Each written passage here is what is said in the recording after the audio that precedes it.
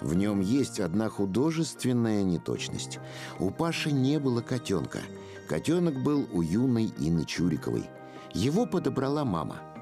Она говорит, дочка, у него пять цветов. Когда пять цветов, это счастье. И мы назвали его счастье. Но все дело в том, что кто-то из соседей не взлюбил нашего котенка, и его убили. Это было такое горе. Вот такая она, Инна Чурикова. Знающая цену своему счастью. Беззащитная и очень сильная. Нежная и очень волевая. Наивная и гениальная. Одна такая. И не одна.